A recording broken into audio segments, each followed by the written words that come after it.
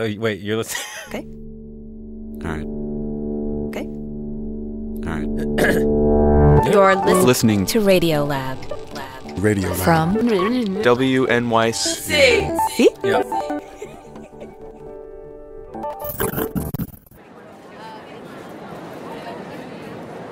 So where are we? Um, we're in a church. In a church. Oh, that's that's different for us. It's not usually where we start. We're in a church. hmm Cathedral, really. A huge cathedral, uh, Upper Manhattan, St. John the Divine. We've got an organ. Yep, the preacher. There's a preacher. Congregation, of course. Mm-hmm. Couple thousand people in the pews, at least. Jesus said, Therefore I tell you, Your basic Sunday service. do by worrying, and a single hour Except today. for a span of life, You've also got, here it comes, much more than clothing. Look at dogs. the birds of the air. The reason we begin here is because today the church is filled with dogs. Can I talk to you about your dog? Yeah. What's his or her name? His name is Blizzard. And what is he?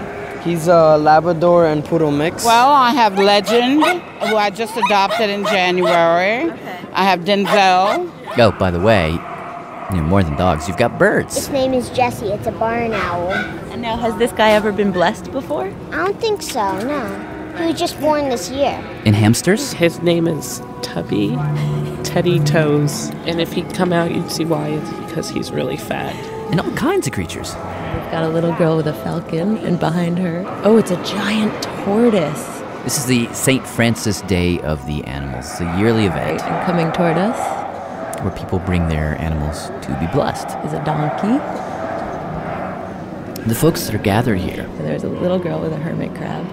they don't think there's anything weird or inappropriate about this. In fact, if you ask them, And here comes a bull. here's what they say. I don't know if it means anything to her, but it means it to me. Because, you know, you want to um, baptize your babies, and this is more or less the same kind of thing. And what is it? What does it mean to you? It just means when, when she finally does go away, she's going to uh, go to heaven. And what kind of parrot is she? Oh, blue and gold. Oh, yeah, don't put your hand near his face. If And what's his name? Chuckles. Chuckles. Do you feel like he has a, a soul or an inner life of some sort? It's a thinking being. They're, they're as smart as we are, really. And Chad, Yeah. uh, since you invited me here, I don't want to be impolite or anything. Say what you gotta say. Well, okay. The, the, these people, of course, they love their animals. Sure, yeah, you can hear that. Because when I'm feeling sad, he comes in the bed and he lays down, spine to spine with me, and he just doesn't leave my side. But aren't they presuming a little bit that the animals they love are going to feel the grace of the prayer or feel the blessing, which is a. Well, which raises a question. What do we really know about what goes on inside the animal's mind? Yeah. All those things that you might feel in a church grace, gratitude, uh, guilt. Can the animals feel those things too? How much can we share? And can you measure it? Yeah. I'm Jad Abumrad. I'm Robert Krulwich. This is Radio Lab.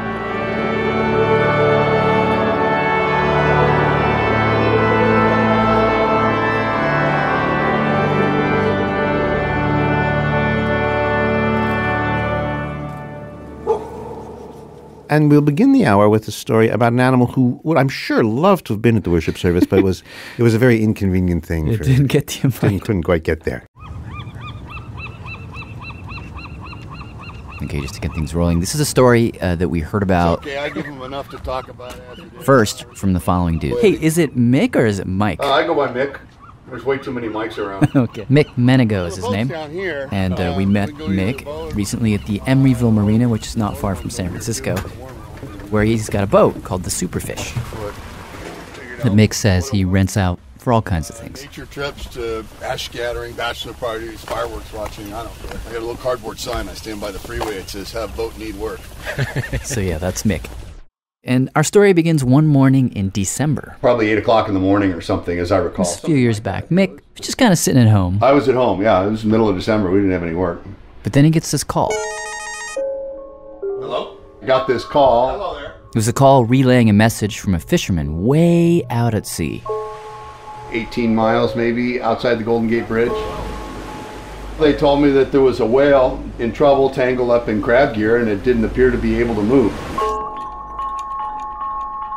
So after he hangs up, Mick immediately calls a few dive buddies. Tim Young. Tim Young, Air Force Pararescue. And then uh, let's see, James Moskito, James Moskito. professional diver. I called him and said, hey, you know, here's the deal. Are you interested? It was a no-brainer. I said, "Yeah, I'm in." Absolutely. Figured, all right, we're going. So I packed up my stuff. Grabbed my gear and I went directly to the boat. And we left underneath the Golden Gate Bridge. Nothing but the horizon in front of us. My name is Holly Drouillard. I am James's significant other. we motored out for about two hours.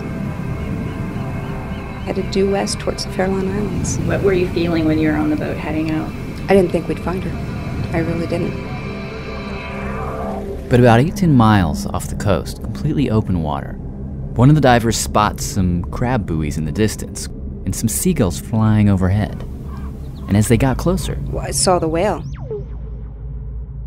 It was just uh, Just the very top of the whale. sticking up about maybe six inches out of the water. At the surface. a tiny sliver of black. And that was it.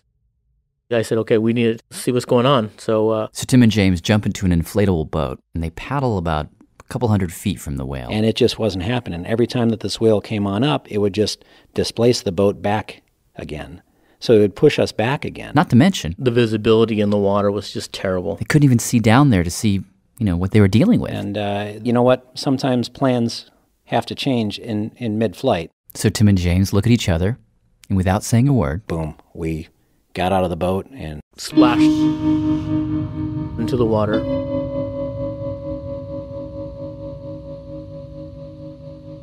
and I see a shadow. This massive animal. A hazy silhouette. And we just started swimming. To the whale, about a 100 feet away, Uh, you know, parts of, of blubber and skin floating around. 35 feet, 20 feet.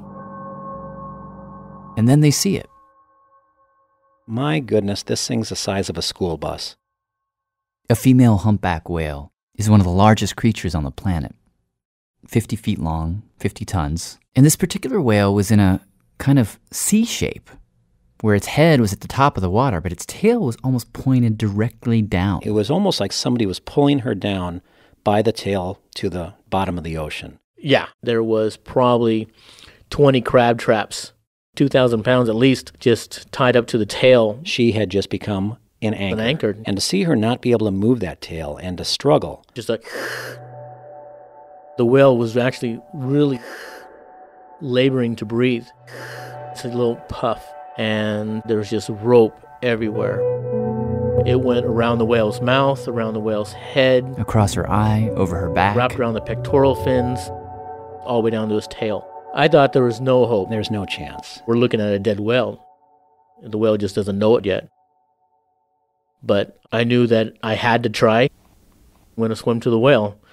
And as soon as I decided, okay, I'm going to swim to the whale, well, the whale decided she wasn't going to have that. What'd Um, you do? She put up her pectoral fin, which is like her arm. And this pectoral fin's about 15 feet long, it's about four feet wide. And she just splashed down the water in front of me. You know, it's the size of an airplane wing coming down on top of you, just inches from my head. So you know, I, at that point, I backed off and uh, waited. Waited for the whale to settle down, She was physically exhausted. which she did. And then they both swim back.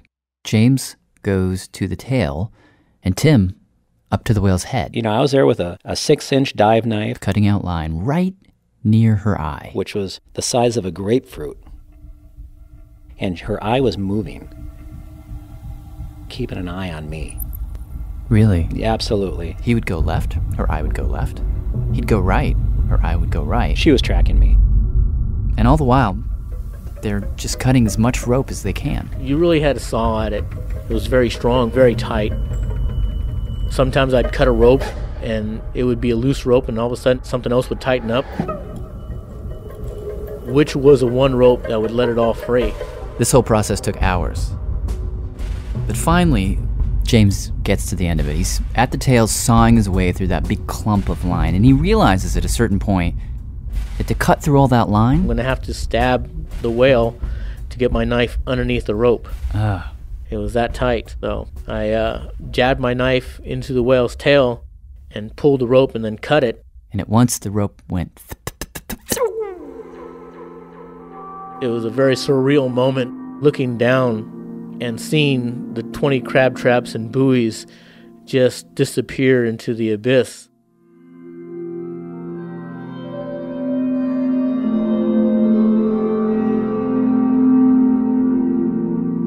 And just like that, the whale was gone. I'm spinning around going, Where'd she go? Where'd she go? But as the water settled, they realized they'd done it. They'd freed her. As soon as I came up, I, I was like, woohoo, wow, hooping it up and yelling. And Unbelievable. I was screaming. Can you imagine? Now, here's where the story takes a, a pretty startling turn. In fact, the whole reason we wanted to tell this story to begin with is for what happens next. So, Tim and James and the other divers are in the water. They're celebrating, high fiving. And then all of a sudden, James looks down. Next thing I know, I have this 50 ton whale coming right at me. I'm thinking, oh my God, stop. I just saved you. Wait, so this whale is coming at you from below, like Jaws? Yeah, she's rising up towards me. Oh, God. And I was just thinking, this is going to hurt. And, and, and uh, when she was only inches away from my chest, she stopped. And pushed me on the chest backwards and then released me and then kind of pushed again. And then released and pushed again. And again. Wow. And then she swam up right next to me, picks her head up above the water so that her eye was above the water. And then came up and looked directly at me. And for what felt like 30 seconds, he says, she just stared at him. The pupil didn't move around. She wasn't looking for anything else. She was just looking at me.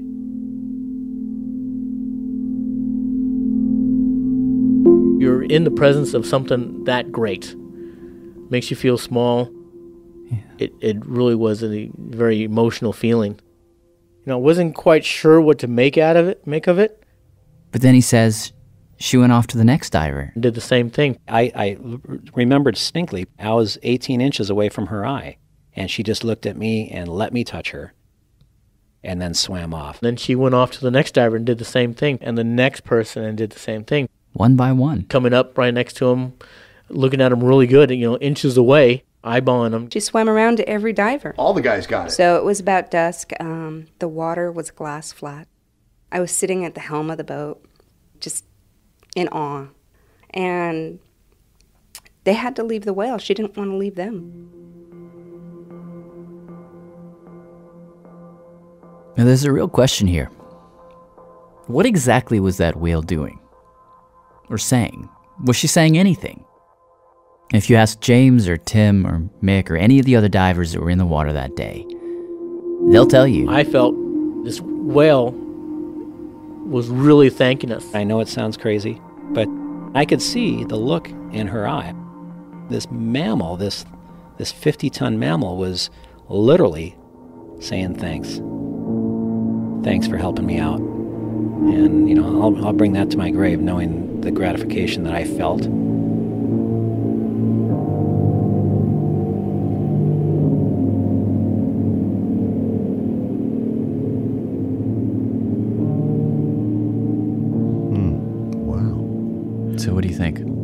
Mean, here's the question really. Uh-huh. Was that whale saying thank you? Was the whale saying, well, I think the whale was saying something. I mean, a whale, if she was just free of her ropes, I would think she would just go off and say, woof, I'm free. So the fact that she would. That she hung around and make these specific eyeball visits, like, I don't know, I feel that she, there's something intentional about that. She, she didn't leave anyone out, right? No, she, She went. went- In fact, everybody- according to the, one of the guys on the boat, she actually went to the boats and did the same thing to the boats. She said thank you to the boats? Yeah. Hmm, well, then. So she was looking at the people, but she also thought that the craft was something she had to say thank you or say deal with. Yeah. So maybe she was just sight. Maybe she was just. uh I really don't know what. She, I mean, I don't. I don't feel completely comfortable just saying. Of course, I know what I want to feel. Yeah, me too. But let's just try to straighten up for a second. We have a guy named Clive Wynne who teaches at the university. Hello. Hey. Oh, hi. Is this Mr. Uh, Clive Wynne? Yeah, this is Clive Wynne. Hi. Ah, Clive is with the psychology department at the University of Florida. Who am I talking? Who's this? This is Jad from uh, Radio Lab. And Right. Robert. Hi, Jad. Clive also happens to be an expert on animal psychology. Hi, and this is Robert also. Um, Hi, Robert. Can you hear us pretty well? I can hear you pretty well. I'm um, I'm wondering how well I'm going to distinguish your voices. Oh. no need to do that. Treat us as a unitary figure. Yeah. okay.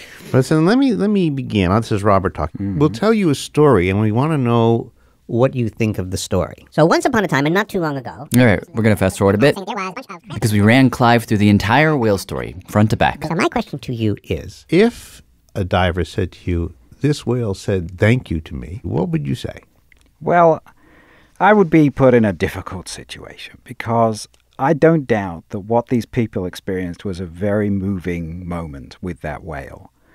But the problem is, I just don't speak whale. So I don't know what thank you looks like in whale. If I'm going to be a cynic about it, I would say, well, the whale has been trapped for, I believe, over a day and may just be disoriented. Well, but this was this was parking herself with one individual and then moving to the next. That's not a distracted. That looks like it's got some intention. It shows some interest in the individuals. I'll give you that. But how do we how do we get from that to deducing that the whale is trying to express thanks? But what do you mean? Let, let's just- play a different example. Let's suppose that you found a bear in the woods that was caught up in some netting that ended up in the woods, and you work for hours to free the bear, and then the bear eats you.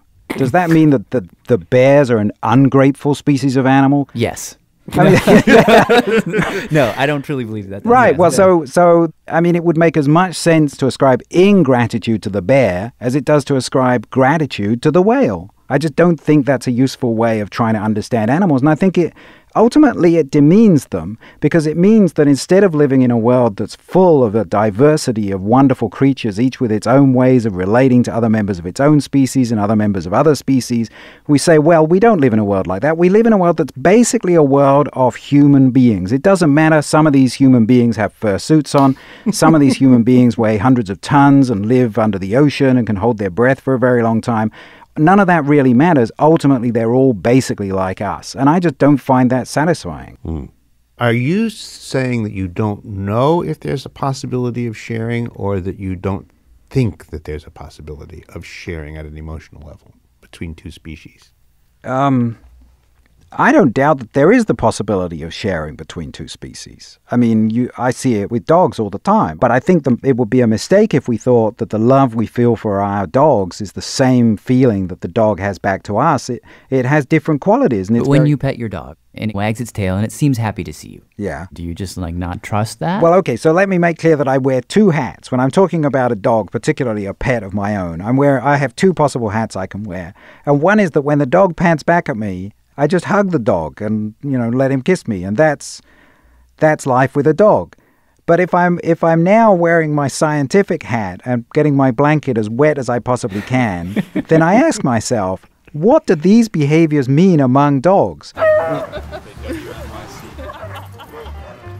There's a, a beautiful study uh, that came out recently from Alexandra Horowitz. Uh, I'm Alexandra Horowitz, and I study dog cognition. Where do we find her? She's well, she's around the corner from you. She's at Barnard College. So we sent our producer Soren Wheeler. Yo, that's me. To meet her, and he ended up hanging out with her and her dog Finnegan. Yeah, yeah. In the park. Oh, oh, good snuffle. That's a nice snuffle. Do you want to snuffle with the mic? She did this beautiful experiment that shows that um, when people think their dog is looking guilty, Ears back, eyes lowered, tail between the legs. actually the dog is just being submissive. So here's what she did. She tracked down a bunch of dog owners Posted on Craigslist and put out posters. and she found a bunch of owners who believe that, like most dog owners do, that their dogs feel guilt. Yes, my dog feels guilty when he's done something wrong. And then she set up a situation where all of the dog owners had to scold their dogs because, you know, they had been told that their dogs did something bad. But the trick of the experiment is that only half the dogs had done something wrong. Half the dogs had actually been naughty, and half the dogs had not been naughty. But then she Misinformed the owners. lied to half of the owners. So we lied to the owners. So even the owners whose dogs hadn't been bad thought their dogs had been bad. So everybody scolded their dog. And almost everyone did this the same way, which was to say no loudly to their dogs and, and maybe put their hands on their hip and express disapproval. yes. Finnegan. I can't believe you ate. Finnegan. oh, Criddle. It's okay. See, Finnegan just made the look, even though he hadn't done anything wrong. And that's essentially what she found. Even the non guilty dogs made the guilty look. It didn't matter whether the dog had transgressed or not. All that mattered was whether it was being chastised by its owner. So bad dog, bad dog. Right. That creates the look, not the deed. that That's brought exactly right. But but for me, the the pivotal question here is not whether or not they all had the look, but what's attached to that look. What feeling in the dog is attached to that guilty look? Maybe the dogs who were falsely accused still felt bad. well, maybe they did. Maybe they did. and maybe there are angels on top of this control console here.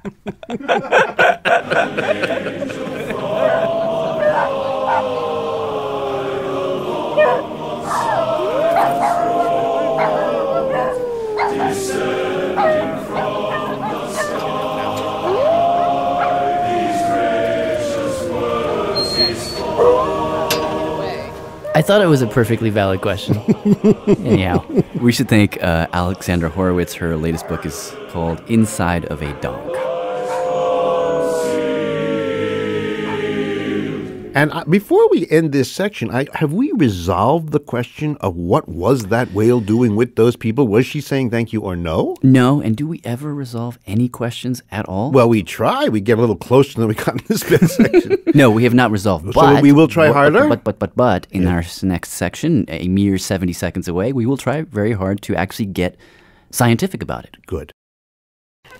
Hey, I'm Jad Abumrad. And I'm Robert Krulwich. This is Radio Lab. Today's hour. Animal minds, animal minds. Right. Do do can can one animal really know what's going on in another animal's head? Yeah, like really know. Really? know.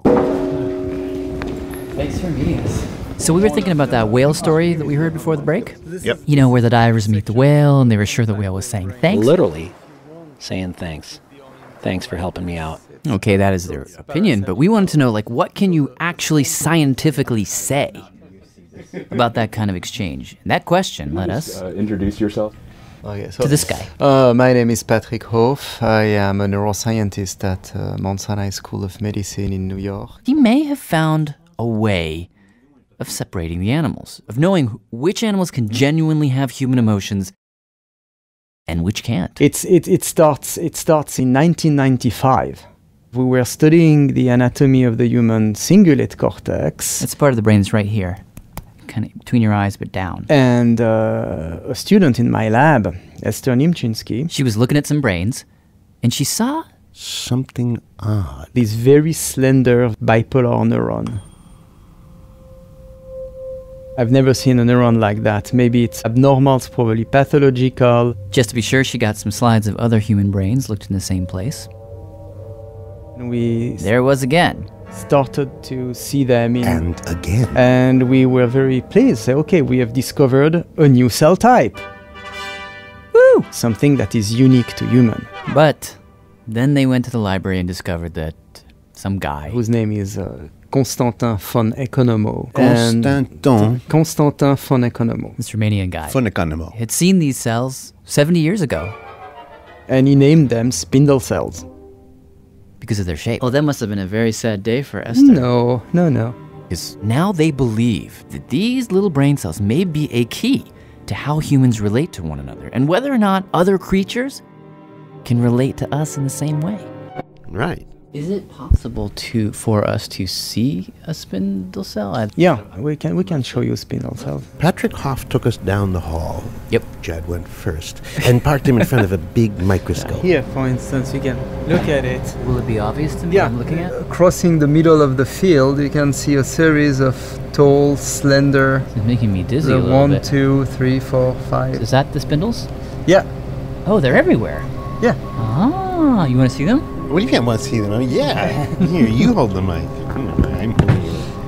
Oh, yeah, there's like a, there's a whole troop of them.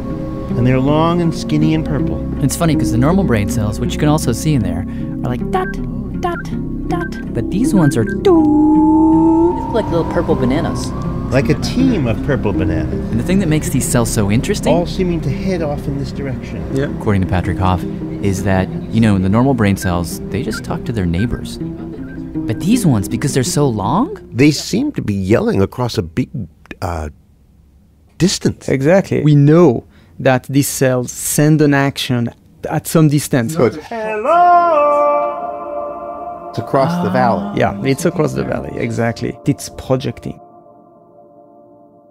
but projecting what? And from where to where?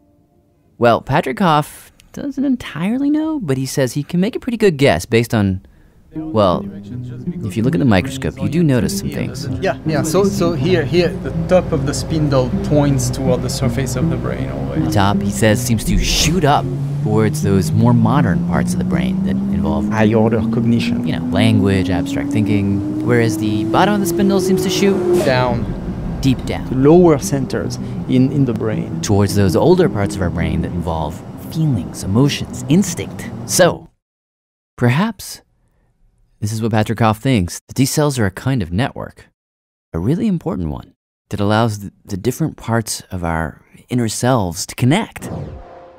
Like you've got the parts of us down here that feel things, can now communicate with the parts of us up here that think things. And this is an oversimplification, of course, but the point, the larger point, is that this is exactly what happens when you look into the eyes of another human being.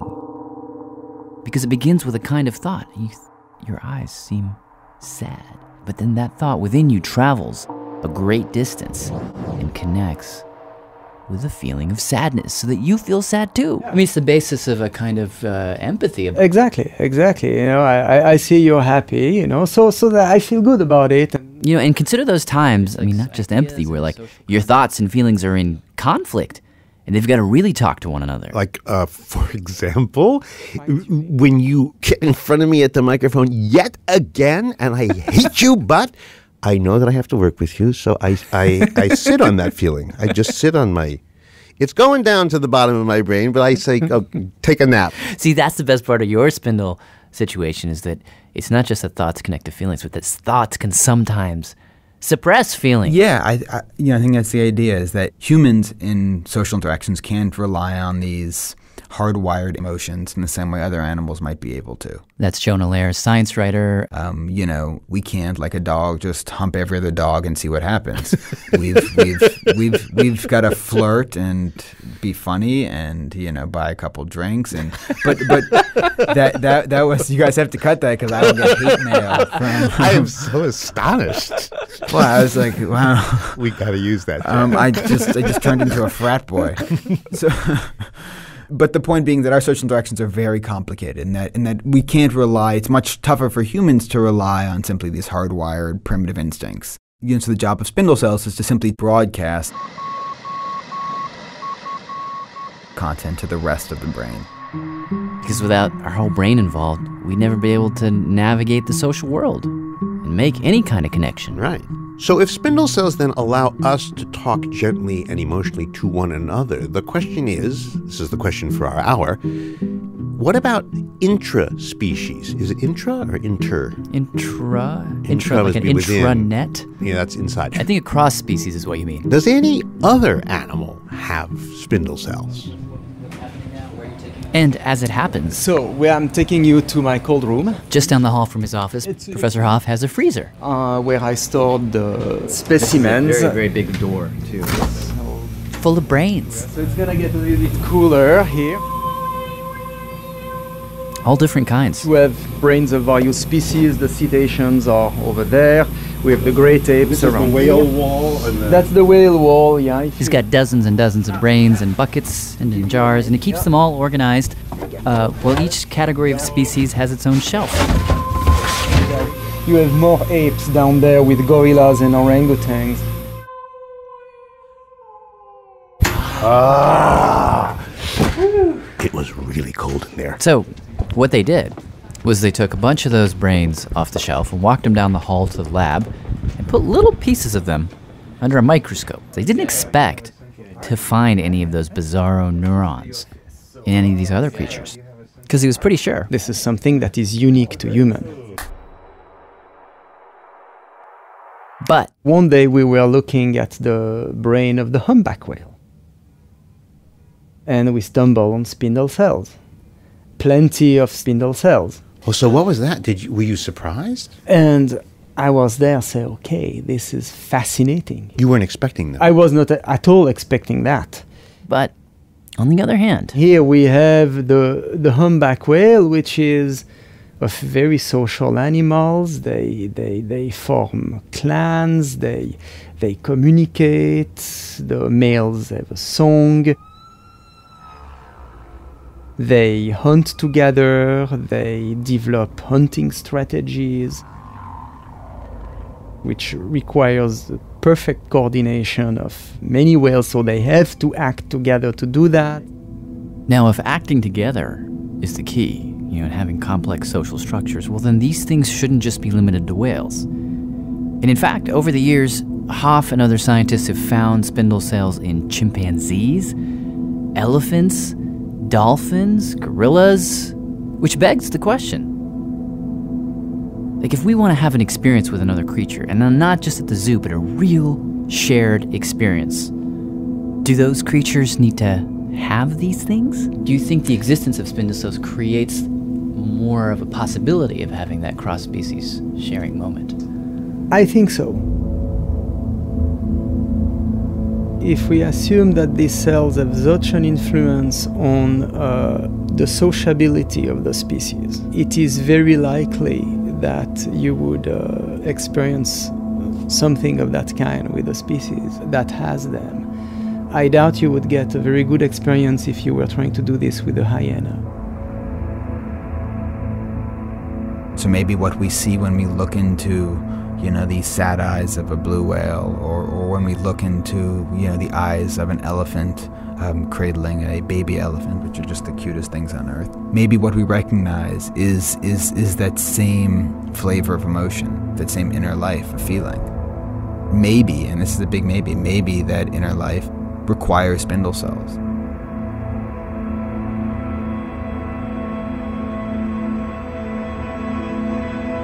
But how big is that maybe? I mean, it sounds like a really maybe, maybe. I, I mean, you know, it's important to know this is all just a. I think this is still very theoretical.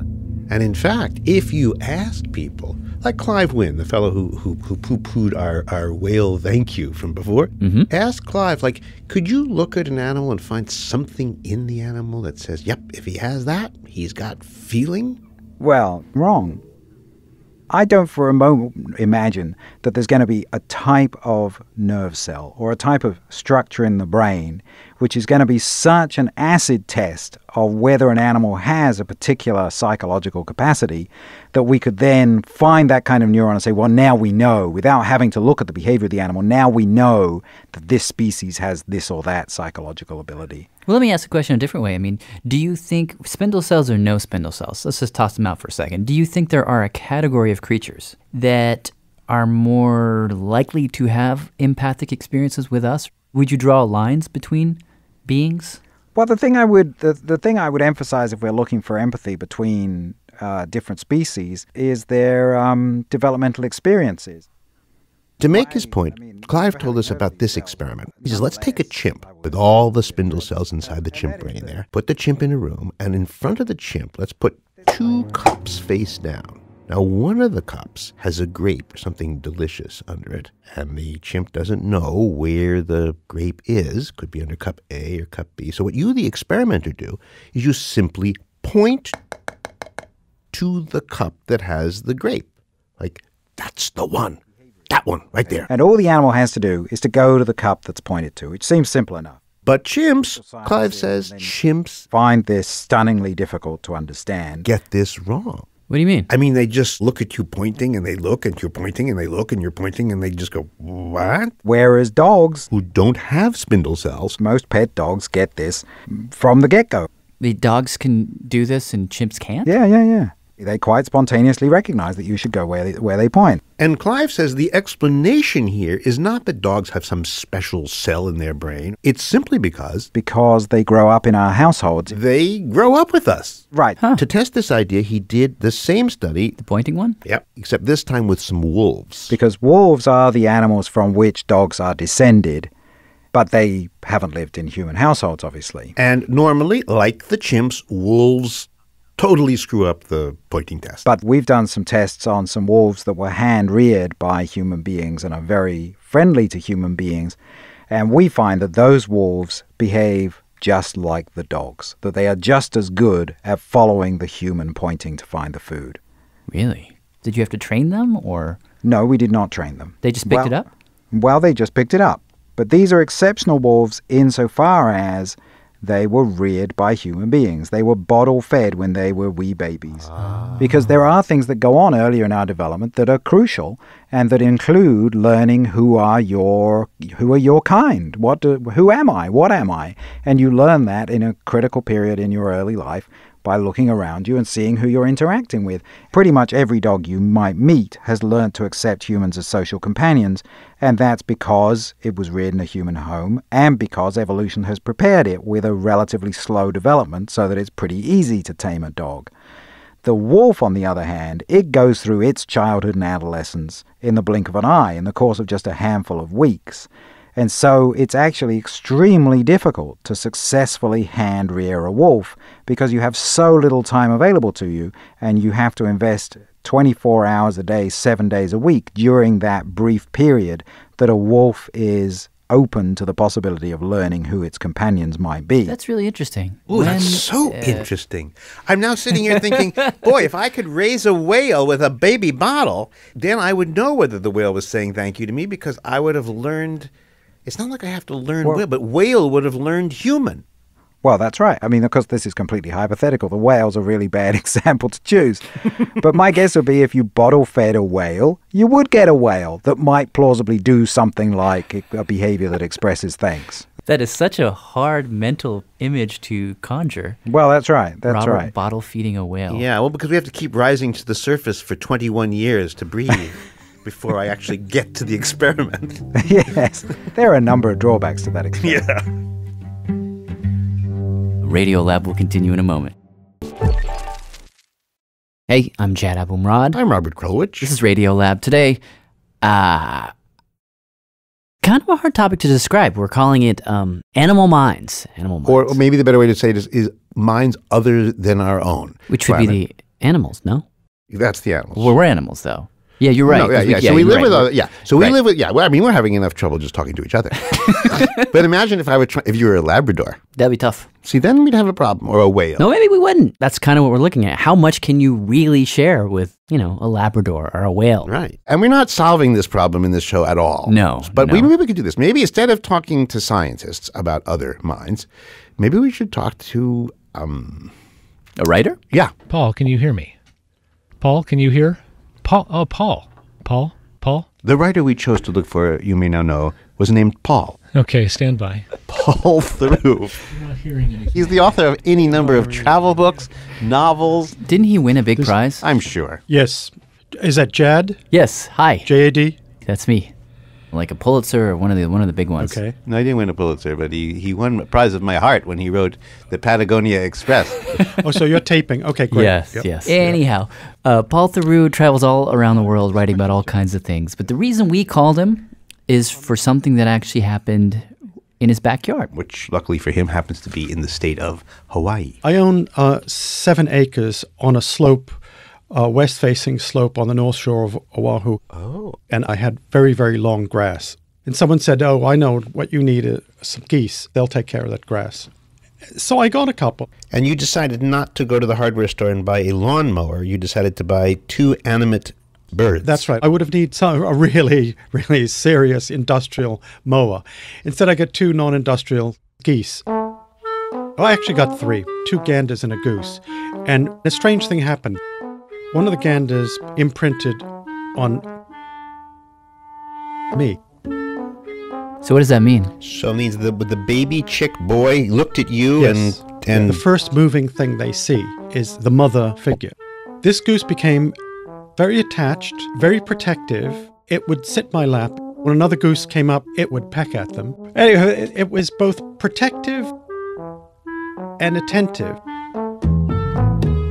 But as the gander grew up, strange things began to happen. First, it became detached from me, then aggressive toward me, and then needed me. It was very strange, and it made me think I want to get some more geese, and I want to read more about them, and then and then watch them. So he, well, he asked friends, and friends said to him, "Look, if you want to know everything that's important to know about geese, you have to read E.B. White." Most people mention E.B. White when they talk about geese, and of course, I know and love E.B. White. And if you're not a Martian, you probably love E.B. White too. Well, you- I mean, what do you mean? I mean, people. Because it's possible for everybody- people how many not people to know. have read Stuart Little, or how many people have read Charlotte's Web? Yes, And if you don't true. love the children's fiction, then he's certainly one of the great, greatest of all American essayists. Yeah, see, that's the point. He is one of the great American writers. He actually uh, wrote the Bible for writing. The Elements of Style. The Elements of by, Style, uh, which Strunk. is still the Bible for writing, weirdly, and it was written like 50 years ago. So when people point to anything by E.B. White, you point seriously. and in this case, very late in life, after he'd moved uh, up to a cabin in, in Maine, he was in his 70s. And this particular essay we're going to talk about is called very simply The Geese. The Geese, Allen Cove, July 9th, 1971. I have had a pair of elderly gray geese, a goose and a gander, living on this place for a number of years, and they have been my friends. So Paul Theroux opened the essay Early in the spring, fully expecting to learn all about geese. But then he kept running across these little phrases and adjectives that made him cringe. You know, you know, he, he talks about a gosling that grows into, I'm quoting now, a real dandy, a real dandy. full of pompous thoughts and surly gestures. Pompous thoughts and surly gestures? You know. but come on, I mean, doesn't that make the goose a little bit more um, easy to relate to? All right, take one word malice. I could not tell whether the look in his eye was one of malice or affection. Malice, malice is a word you use for, you know, Mussolini or, uh, you know, somebody else. Not for, not for a goose. But what's the sin in that? If a man who's a professional storyteller and one of the greatest ones says, Let me tell you about my geese, and then talks about them as though they were uncles and aunts and neighbors with moods that are distinctly human, so what?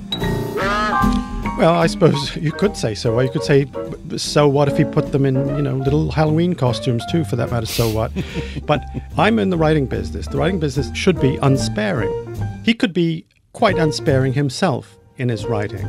You're giving E.B. White too much license if you're saying it really doesn't matter. It does matter to me. And the reason it matters, says Paul Theroux, is that E.B. White got so attached to the idea of those geese as aging critters like himself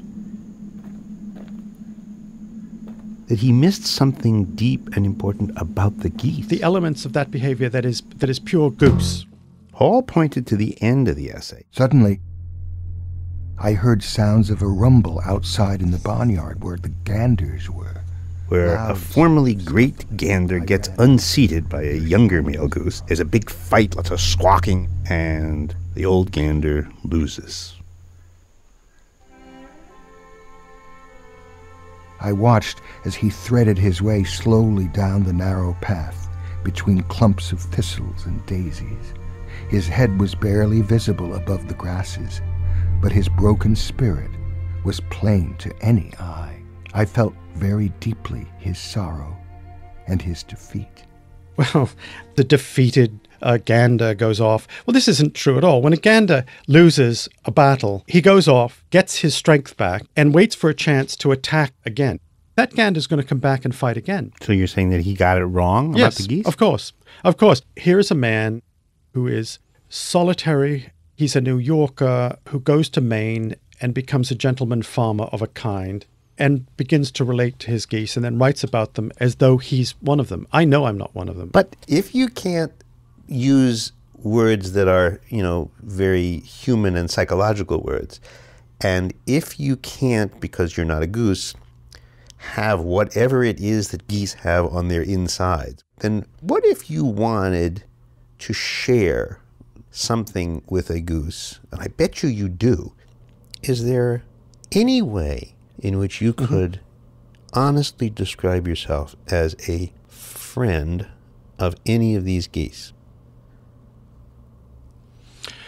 I I would say, you know, th- th- this is a very good question. I I had a very surly, to use an E.B. White word, a very a very um, rambunctious gander, and he got very sick. You know, the thing is sitting on the ground, just fouling its nest. I, I thought he was really going to die, and I nursed him back to health. I gave him uh, uh, antibiotic with a turkey baster, and it took about three or four weeks. And the first thing he did when he was nursed back to health he was he got up on two legs, and I came up with the turkey baster to give him one last drink, and he bit me. and I thought, uh, Where did he bite you? He bit my leg hard, and I thought, okay, he's back to health. You didn't think, ow, how could you? Well, I thought he's he's he's healthy. He's healthy again, and he's behaving just as a goose would. But don't you see though that if the moment of true of your true most goosey moment is the moment when you're with the goose that you help bites you, then you are out of this story in effect. I, There's, I um, absolutely agree with that. I, I, in in all of this, there's an implied uh, loneliness. I'm not his friend. I'm not a feathered creature. I'm a human being among birds. Although curiously, Paul Theroux does have an approach to communing with his geese. He takes a chair, puts it on the lawn, plops down in the chair, and disappears. You know, my writing day ends in the early afternoon. I have lunch, and after lunch, there's a long sunny period in the afternoon when I'm alone, I'm with the geese, and I sit around with them and try to make out what they're doing among each other and paying no particular attention to me. It's simply watching the world as it was. You're seeing creatures who are behaving as though cities don't exist, presidents don't exist, governments don't exist, roads don't Ah. exist, as if it's before the fall, Hmm. as though it's the peaceable kingdom. Simply watching animals who are content doing their thing. Then you feel a bit like Adam.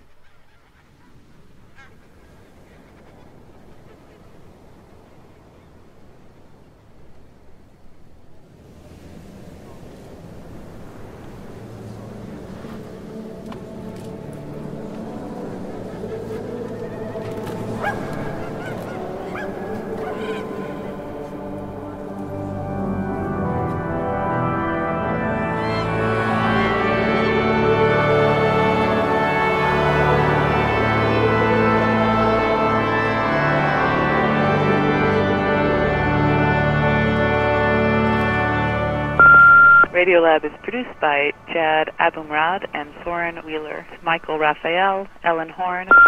and Lulu Miller, with help from Adi Narayan and Tim Howard. Special thanks to Brianna Breen and Kelly Carmody. Apologies for butchering any name. Wait a second. Stop, stop the machine. It, it just feels weird to end the show this way with this lonely geese thing. So we're going to play for you one final story. It's kind of a continuation of, uh, of Paul Theroux and his geese, except it involves a very different guy in a very different climate. First of all, who, who are you? What's your name? My name is Paul Nicklin, and I'm a contributing photographer to National Geographic magazine. Paul Nicklin is basically National Geographic's Arctic guy. It's I've been pegged as their polar specialist. And this particular tale involves his attempt to photograph one of the great Arctic predators, The leopard seal. Leopard seal, which by reputation is a very nasty creature. Uh, preface to this story is in 2003, tragically, a scientist was actually killed. Uh, Kirsty Brown was doing underwater research, and she was taken down by a leopard seal and drowned. Was she just yanked off the ice, or She was swimming, and it just came up and grabbed her and took her down to 300 feet. Nonetheless, our story starts with Paul and his guide Göran. They're in a boat in the Arctic Ocean looking for seals. The first seal we encountered, I'd never seen a leopard seal before. And we, we came around in, into this bay where there was a penguin colony. And right away, Göran, who's seen many, many leopard seals, he said to me, You know, bloody hell, that's the biggest seal I've ever seen.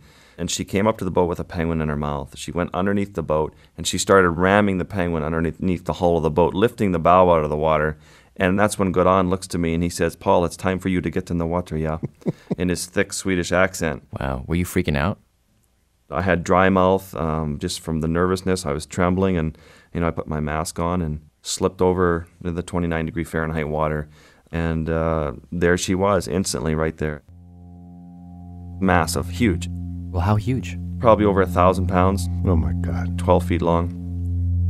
She dropped her penguin, she came right over to me, and she opened up her mouth. And she engulfed the front of the camera. Her canines were on top of my head, two were below my chin. You know, I'm basically staring down her throat. And I can't believe you managed to take a picture of this because I'm looking at this picture and these teeth are huge. The canines. Yeah, they're like massive. So you were doing business at this moment. Yeah, I'm working at that point. You can even see the texture of the seal's tongues. Like she has these little fibers on it. Oh, it's 180 degree view. So yeah, to get that that perspective, I'm basically in the mouth to get that shot. Wow. So then what happened? She backs off, looks at me, sniffed my flippers, touched them with her nose, poked me in the bum, came up, did this open mouth threat display again. And then she swims away.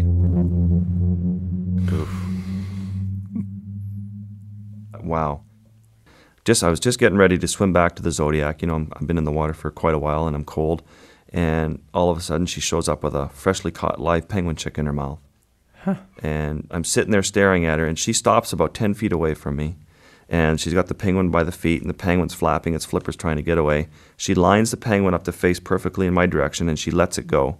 The penguin swam right by me, and she chases off after it and grabs it, comes back and does this again and again and again. Why? Yeah, I mean, what was she doing? At first, I couldn't figure out what was going on. I thought maybe she was having a hard time eating it. And then it dawned on me she was trying to feed me. Wait, how, did you make any attempt during this period to say no, thank you? No, no. I'm so in such disbelief at this point. I'm just trying to capture it. Well, didn't you feel compelled as a social human to just offer some kind of gestural explanation? I mean, with me, I would have made some look like, "Come, I don't eat that stuff," or Or maybe it's like you you take you take the penguin at that point. You're like, Well, I mean, I when couldn't in touch Rome, the you know. penguin swimming 15 miles an hour. You know, Oh, so you mean when it, when she lets go, it just goes. Phew! like a bullet. no, he's pathetic, is what he's saying. He's, I'm a pathetic creature. I can't I actually catch the. I'm thing." thinking exposures, get the shot, keep shooting. You're such a photo dude, you know. well, I'm I work for National Geographic.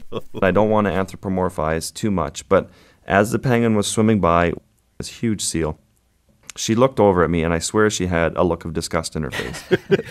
so she goes off and gets another penguin, and this penguin now is quite weak and tired looking, so I think she's worn it down. She lets the penguin go. Penguin takes off. She grabs it, does that a couple more times. And you're still not eating the penguin. Right. Next encounter was bringing me dead penguins. And sometimes she would just drop off a dead penguin right on top of the camera, and she would just sit there eh, with this dejected look on her face, staring at me. and then she went to the stage of flipping dead penguins on top of my head and trying to force feed me these penguins, telling me at this point, you know, eat these damn penguins. I'm trying to feed you. Why won't you eat my penguins? Eat the penguins. Then she would start to eat the penguins right in front of me and show me how to eat them. She would rip them apart on the surface, get the skin off them, and she's shredding them in the water in front of me. And and how much time is passing here? I mean, are we talking minutes, hours? This went on for four days. Four, Four days. A- and when you're in the water, uh, you know, day after day, what's happening for you at this point? Are you still just a guy with a camera, or I mean, I was starting to fall in love with this seal. It's just uh, it- this animal that's just so intelligent and so uh, powerful, and it could kill you in an instant. Yet you're, I mean, But when you say you were in love, what you were, were you in love with the idea of this, or did you really like her? I really liked her. She was beautiful. She was big. She had this this beautiful face, beautiful silver color to her. She kind of glowed underwater. I'm just so in love with this seal at this point. I'm not sleeping at night. I have a hard time eating. I just can't wait to see her. I can't. The first thing in the morning, you know, first sign of light, I'm in that zodiac.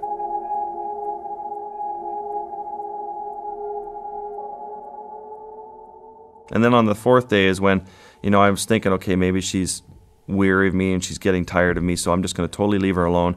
That's when I started going off and presenting myself to other seals who were swimming around the rookery. And, and I was in the water, and the same big female came up to me, and she started to do all these really beautiful ballet like moves. I'm photographing her and looking at her, and all of a sudden she drops her penguin, she turns upside down, and she does this big guttural this big jarring noise that's vibrating my whole body. I can really feel it in my chest. It's so loud. And I'm thinking, am I being attacked? She finally told me that she's sick of me and wants me off her feeding grounds.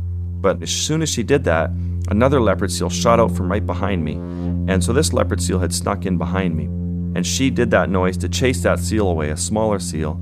She chased the seal away. It too had a penguin. She grabbed its penguin and brought me that seal's penguin and dropped it off in front of me. Wow. Wow. You are a lucky guy. Yeah, I mean, I'm almost getting emotional reliving that. I mean, it's very powerful. Have you ever been in love with an animal in quite this way before? Never, never.